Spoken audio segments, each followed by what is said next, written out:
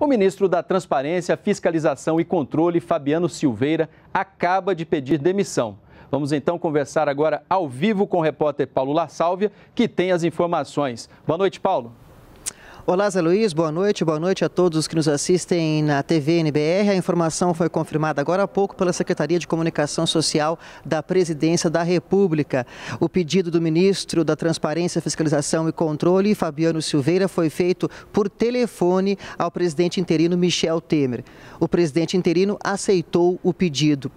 Fabiano Silveira motivou-se a deixar o Ministério da Transparência, Fiscalização e Controle depois que neste domingo a imprensa divulgou áudios nos quais ele conversa em encontros com o presidente do Senado, Renan Calheiros, e com o ex-presidente da Transpetro, Sérgio Machado. E nesses encontros, a partir das gravações, ele opina em relação à Operação Lava Jato e chega mesmo a dar dicas a Sérgio Machado, ex-presidente da Transpetro, em relação a como ele deve proceder na justiça sobre a Operação Lava Jato. Lembrando que Sérgio Machado gravou esses encontros e ofereceu essas gravações ao Ministério Público em troca de uma delação premiada, que permite ao investigado fornecer informações à Justiça em troca da redução da pena.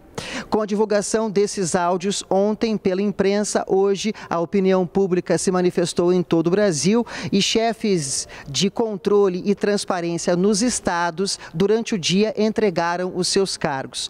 Esta repercussão também levou o ministro da Transparência, Fiscalização e Controle a fazer esse pedido de demissão ao presidente interino Michel Temer. Lembrando que a Operação Lava Jato foi deflagrada em março de 2014, está na sua trigésima fase e apura desvios na Petrobras. Voltamos com você no estúdio, Zé Luiz. Obrigado, Paulo, pelas informações ao vivo.